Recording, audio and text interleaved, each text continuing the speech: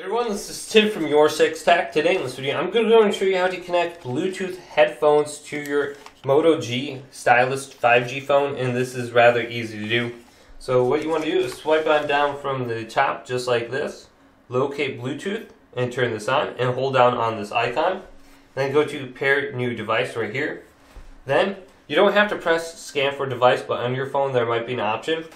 Then put your headset into the Bluetooth pairing mode. So I'm going to turn on my headset right here by holding down the power button.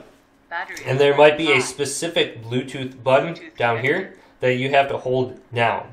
So this one, the Bluetooth is already turned on, but I have to hold down this button to turn it on. Then it popped up on my phone, Stealth 700 G2.